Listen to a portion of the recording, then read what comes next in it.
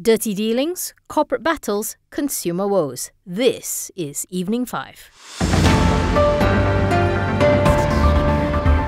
Malaysia Airports Holdings announced that a consortium consisting of Alstom Transport Systems Malaysia, IJM Construction, and Pestech Technology will be completing the Aerotrain replacement project. This confirms a report by The Edge published last month. In a statement, MAHB said it has entered into an agreement with Alstom and the IJMC Pestech JV to steer the Aerotrain replacement program back on track. Alstom and Pestech were the original contractors for the train replacement project. MAHB terminated the contract in August last year, citing Pestech being behind schedule as the reason. Under the new agreement, Alstom, the Aerotrain's original equipment manufacturer, will serve as the project coordination lead and be responsible for coordinating the works to recommence the project and deliver three new trains and two lines by the first quarter of 2025. According to MAHB, Alstom was given the prerogative to select their partners for works outside their scope, and Alstom chose IJMC Pestech for work involving civil engineering and train power supply components, among others.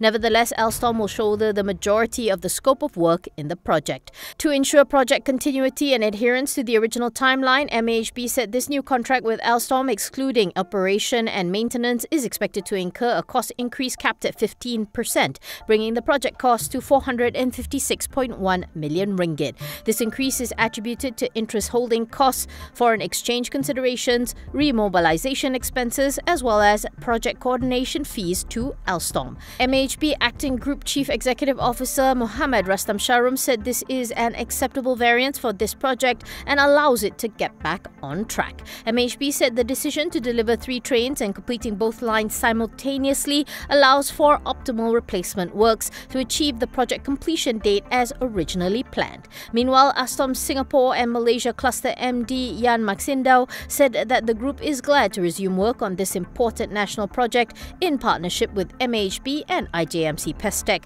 to ensure the timely delivery of the project and enhancing the travel experience at KLIA. The 25 year old Aerotrain was suspended in March last year following a major breakdown that stranded 114 passengers.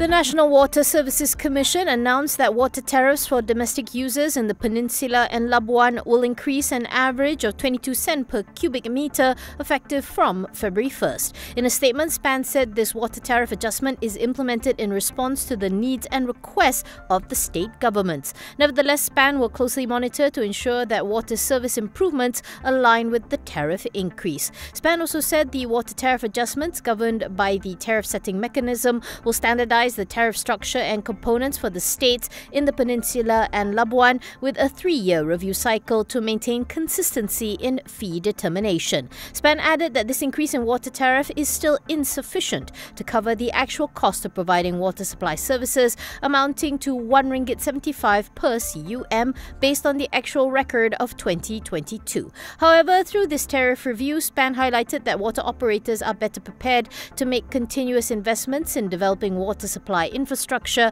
including building or upgrading water treatment plants, replacing obsolete pipes, conducting regular maintenance, and improve their efficiency in addressing complaints. To mitigate the impact of the increase on people's monthly water bills, SPAN advised water supply operators in each state to continue existing initiatives, such as providing targeted assistance, including rebates to the B40 group.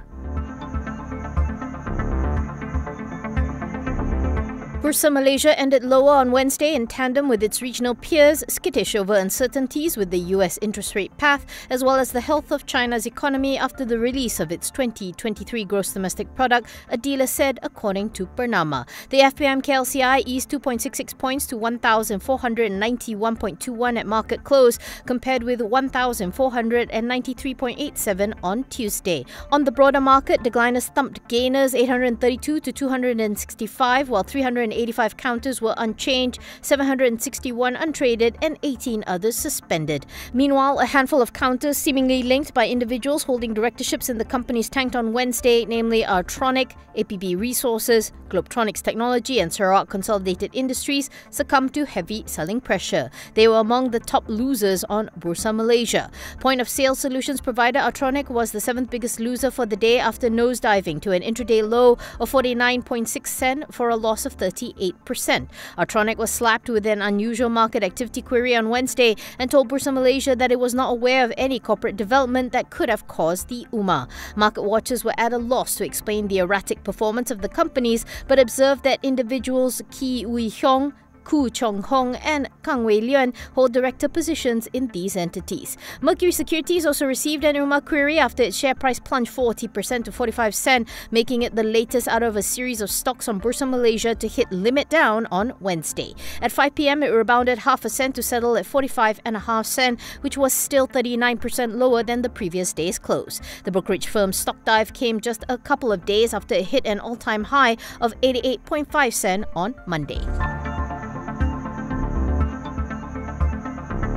Datuk Seow Gim Shen, Mataku Assets Holdings and Bermas Holdings have emerged as the new substantial shareholders of Rexit after acquiring an aggregate of 92.27 million shares or a 53.27% stake for a total cash consideration of 78.43 million ringgit. In a statement issued by UOB Kay Securities Malaysia on behalf of Rexit, the joint parties acquired the block of shares at 85 cent per share from three existing shareholders. They are Rexit Ventures, Global Hartabumi, and the company's current chief, Datuk Chung Hong Cheong. According to the general insurance services provider, Seow serves as the chairman of Titan Pharmaceuticals, a publicly traded company on the Nasdaq Stock Exchange. Meanwhile, Mataco is an investment holding company where its directors and substantial shareholders are Kong Qian Hui, Liu Kian Yong, and Chan Chao Lung. Bermas is also an investment holding company and its directors and substantial shareholders are Chung Ching Chi, Chong Yok Xiang, Chong Xiao Yung, and Chung Yok Seng.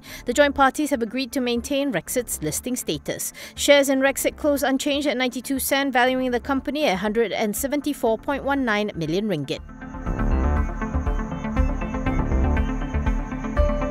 Sarawak Consolidated Industries is in talks with the Sarawak state government over a potential land acquisition, the company said in a response to an unusual market activity query. This came after its shares hit limit down for the second day in a row. In a Bursa filing, SCIB elaborated that on January 4, 2024, it received the letter of offer from the Land and Survey Department of Sarawak to acquire some parcels of land measuring approximately 22 acres in size for the purpose of expanding the group's production capacity. SCIB adds that it is in the midst of discussion and considering the acceptance of this proposal and will release more details to the bourse once a decision is made. Shares of SCIB had plunged by 35.93% or 30 cent end Wednesday at 53.5 cent, effectively wiping out all gains of the past three months. It was the second most actively traded stock on Bursa Malaysia with over 202 million shares transacted. This steep drop represents a significant loss of 65.5 cent or 55%